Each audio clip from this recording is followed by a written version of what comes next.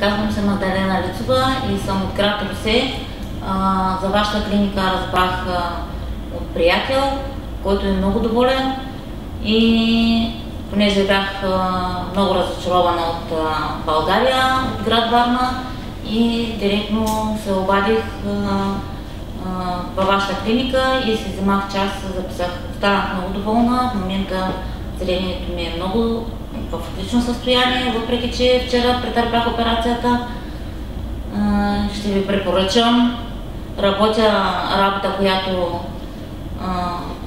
може би ще имам проблеми с пара и с прах, но тези мерки аз ще се ги предприема, които ми трябва за по-нататък и за сега съм много доволна и от обслужването, и от посрещането. Друго